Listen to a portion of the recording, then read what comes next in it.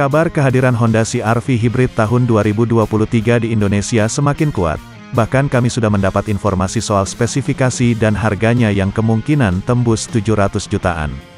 Semakin dekat peluncuran CR-V terbaru di Indonesia ini semakin dikuatkan dengan kemunculannya di Bangkok Motor Show Thailand pada tanggal 20 Maret tahun 2023. SUV tersebut akan hadir dalam pilihan mesin VTEC 1,5 liter turbo dan 2,0 LHEV alias hybrid.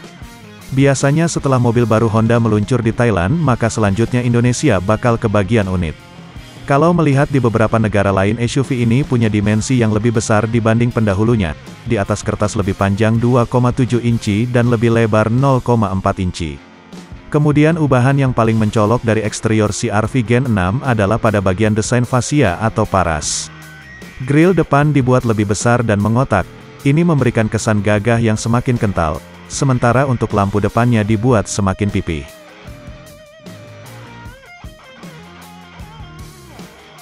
Mesin Honda CR-V tahun 2023 kemungkinan tidak beda dengan yang ada di Thailand. Pabrikan H Tegak mengandalkan 2000 cc EHEV dengan sepasang motor elektrik. Hasilnya bisa melontarkan output gabungan sebesar 204 PS dan torsi 335 Nm. Performa ini bahkan lebih mantap dibanding CR-V turbo model lama. Honda juga tetap menyediakan opsi mesin 1500 cc turbo untuk CR-V Gen 6. Dari sisi performa sepertinya tidak beda dengan model lama, bisa melontarkan tenaga 190 PS pada 5600 rpm dan torsi 240 Nm pada 2000 hingga 5000 rpm, sementara untuk transmisi pakai CVT.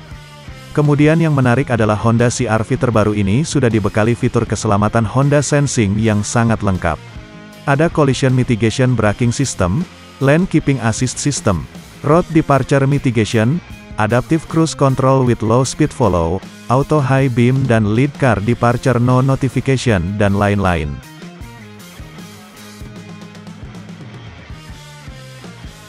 Kesan yang paling mudah muncul saat melihat eksterior Honda New CR-V adalah tangguh dan gagah. Bagian depan terlihat maskulin dengan desain bumper dan grill yang baru. Selain itu kehadiran full LED pada headlamp, fog lamp serta lampu sein membuatnya tampak mewah dan canggih. Terlebih lagi kaca depan New CR-V telah menggunakan bahan kaca penolak panas, tentunya ini makin menambah kenyamanan pengemudi maupun penumpang saat berkendara di siang hari. Tak hanya keren di bagian depan, bagian belakang Honda CR-V pun tak kalah mantap desain bumper belakang yang tangguh berpadu dengan pipa pembuangan dari krom memberikan tampilan yang elegan, Terlebih lagi kehadiran spoiler yang sporty dan desain lampu belakang yang beraksen awan memberikan visualisasi yang megah. Hal ini semakin sempurna dengan Velkwell alloy dengan desain two-tone berbentuk five-leaf clover yang memberikan kesan tangguh dan elegan.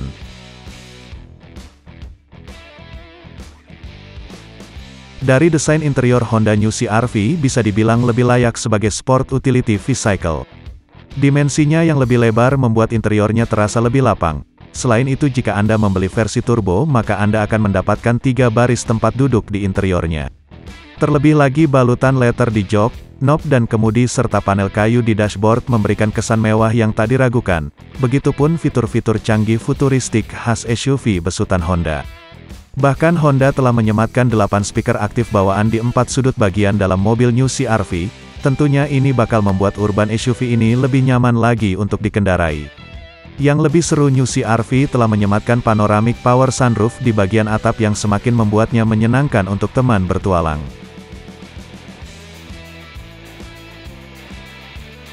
Selain fitur yang telah disebutkan di atas cukup banyak fitur Honda CR-V tambahan yang memanjakan.